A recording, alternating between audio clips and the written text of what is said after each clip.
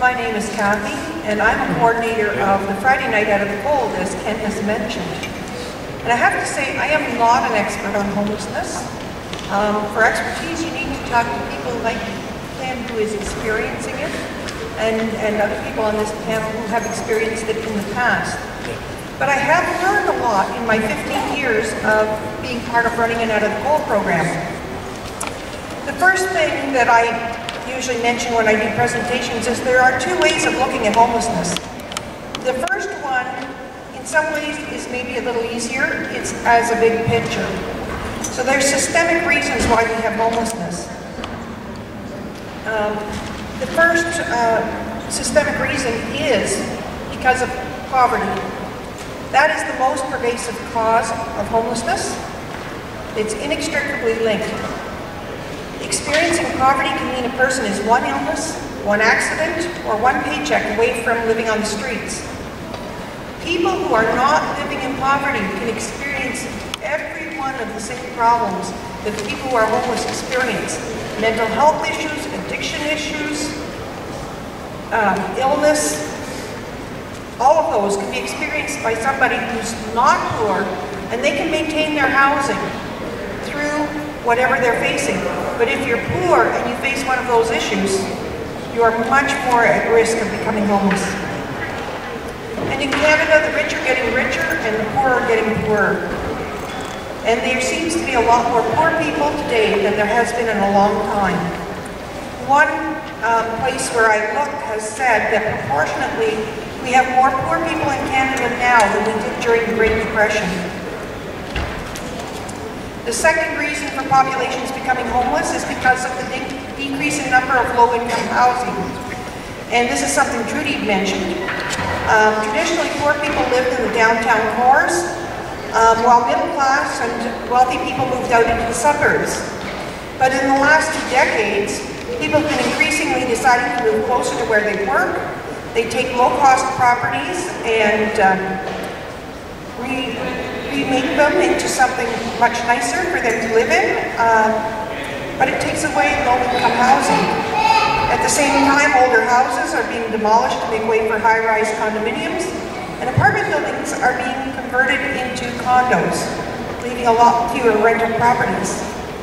Rent control is no longer in place, and both the federal government in the 1980s and then the province in 1995 withdrew from social housing, leaving it to the region to provide for everything in the way of low-income housing. And the third reason is something else Trudy mentioned was the deinstitutionalization of the Canadian mental hospitals. Um, they closed the mental institutions because it was supposed to be a more humane way of dealing with people with mental illness. Move them back into the communities where they came from, where they might be more comfortable, and it was supposed to save money. The money saved was supposed to go into community supports. Unfortunately, they moved the people back into the communities, but they didn't move the money with them. And so those community supports did not materialize the way they should have. So now we have mentally ill people living in an environment where they are no longer protected and they're left on their own with no support. We see a lot of those at Untold. The difficult way of looking at homelessness is on an individual basis. And I can say that for every person who is homeless, there is a story. And um, a presentation I was looking at yesterday talked about when something happens to one person, it's a tragedy. When it happens to 100 persons, it is a statistic. And that's a paraphrase of a quote from Stalin, but it really is true. It is very easy for us to gloss over when we talk about the hundreds of people who are homeless or thousands of people who are homeless. But when we talk about individuals and look at the reasons why they're homeless, it's much more um, meaningful to many of us.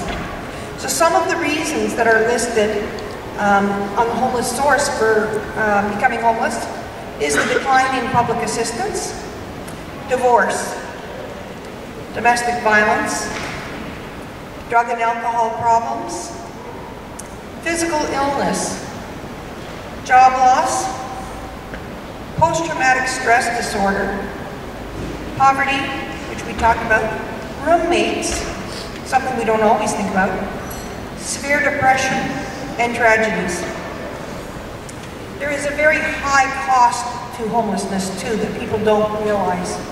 Most people think the only cost for homelessness is the cost of shelters, but that's not true.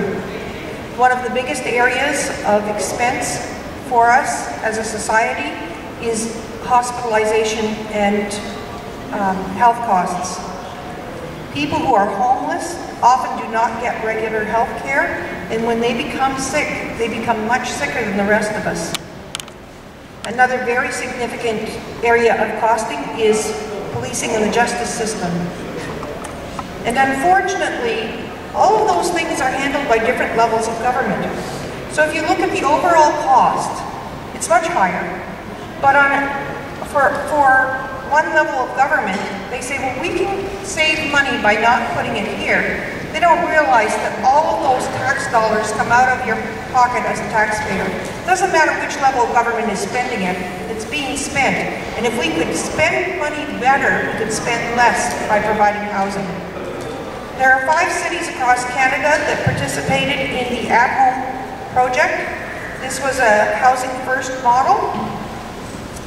Um, housing First is based on the belief that housing is a right and not a privilege. And the philosophy proposes that providing housing before any other service will lead to improvements in all the areas needed. And is proven to be very effective. The savings in hospital stays alone for these five cities, for the individuals, paid for half a year of housing for those people. And that didn't include all the other costs that we are, that they don't list. Stages of homelessness. Most experts say there are three stages of homelessness. And um, many people are really surprised to realize that they themselves may have been counted as homeless at one time. The first stage is 70% of the people are homeless. Um, that can happen for many of the reasons that I've already listed, but it includes things like a house fire, a natural disaster, or it could be the end of your schooling or you're between jobs, I don't know how many people have gone home to live with mom and dad for a couple of months while they got back on their feet. And, you know, I, I, I have to say, Mike and I, when we were first married, we spent the first four months of our marriage living with relatives. We didn't think of ourselves as homeless, but we really were. The people who are homeless in stage one are in a heightened, heightened state of crisis, and finding a home is their highest priority. Stage two are when people begin to adapt to living without a home. Now these are people who have lived a little bit longer, and it depends on, on who they are and where they are and how long that is. But they've been unable to find a home, and their resources are running out. So their family and friends have helped them all they can and are saying, you know, we've had enough of you sleeping on our couch. It really is time you find another place. Um, these people are still really highly motivated to find a home, but at this point, they need some help. They can't do it on their own. and stage three homeless are what we call chronically homeless. These are people who have been homeless a year or more. Um, they've been homeless long enough to experience what's called social decompensation. So for these people, they've, they've adopted, they've given up on finding a home. Now what they're looking for is, where is my next meal going to be? Where am I going to spend the night tonight? It doesn't mean they don't want to be housed, it just means they've given up hope. There are many myths of homelessness, and I know that the, um, the, the, quiz that was being handed out covers some of this, these. Okay. So, some of them are the, well, I guess you can look at them there, because I don't think I need to go into all of them. You can read them there. Um, in conclusion, in 2011, there were 3,133 people in Waterloo region who stayed at shelters. In 2012, we know there were even more. We had a 17.5% increase in the people staying at out of the cold. And the other shelters also had increases, and I don't know what those amounts were. So, and that only includes people who access the helps. That doesn't include the people who are sleeping on somebody's couch. That doesn't include the people who have refused help at the shelters and who are sleeping on the streets. So what I would ask people to do is take action. Lobby your politicians to end poverty and provide housing that is affordable. Encourage a living wage. Take into account poverty reduction and housing policies whenever you vote. And please remember the human cost of tax cuts. Every cut in taxes means a cut in program funding. And please, please support housing projects in your neighborhoods. Remember, we all deserve a home. Thank you.